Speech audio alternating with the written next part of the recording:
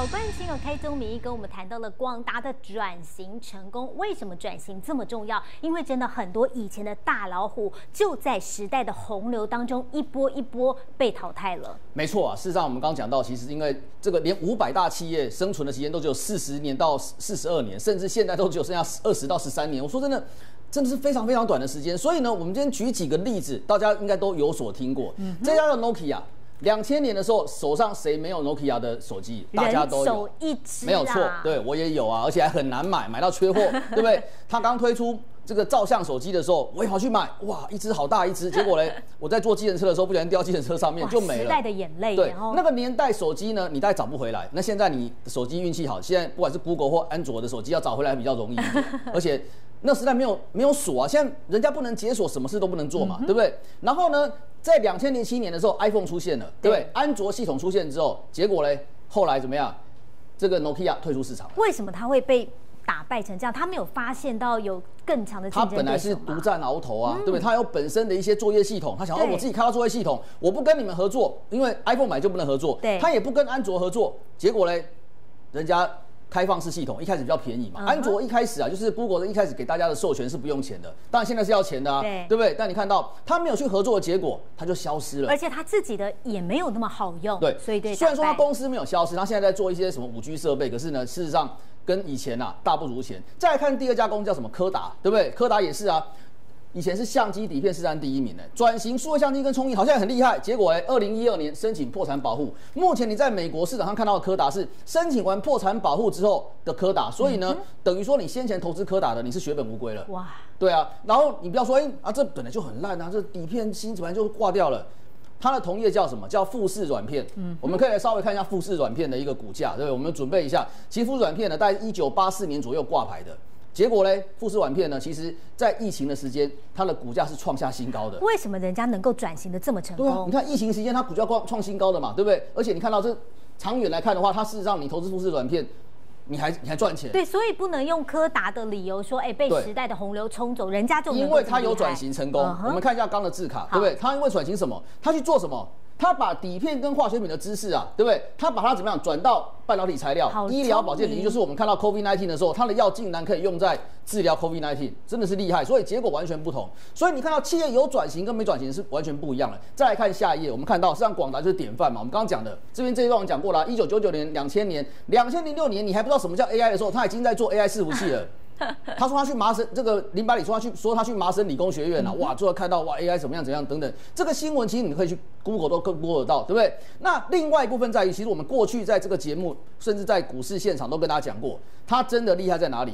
他很早就看透苹果策略，当然我们台湾现在还有很多人看不透苹果策略，我就不便批评了，对不对？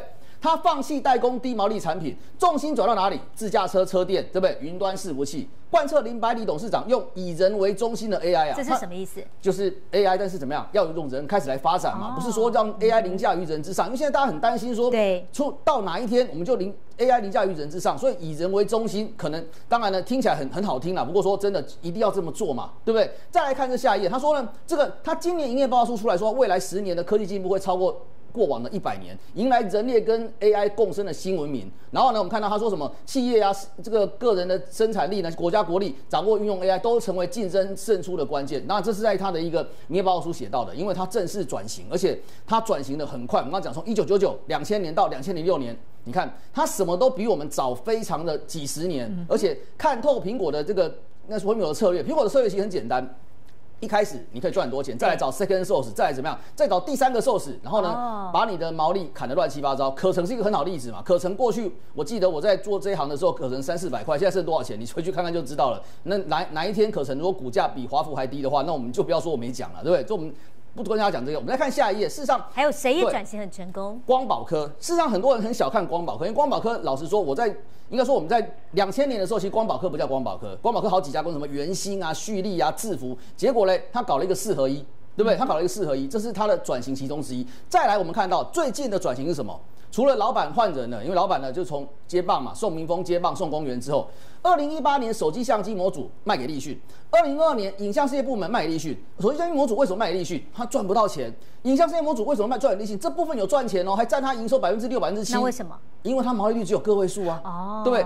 光宝转做什么？它在做 AI 伺服器的高阶电源啊。事实上，我们可以现在看到，你在使用 Chip GPT，如果没有光宝的电源，你就不能使用了，因为呢，它的它里面所使用的叫 DGS Two 辉达那个伺服器啊，它的三千瓦的电源，光打光宝是独家供应，不是台达电供应的。你想哇，台达电那么厉害，为什么台达电供应啊？就光宝就找辉达就找光宝合作啊，甚至微软的 Azure 啊，它的所使用有一个五千两百瓦的电源，哎，也是光宝科供应的。所以你看到嘛，它厉不厉害？他说他看好 AI 伺服器的高阶电源需求量增长百分之五十，四月份的光电、云端跟物联网部门合计营收到五十八。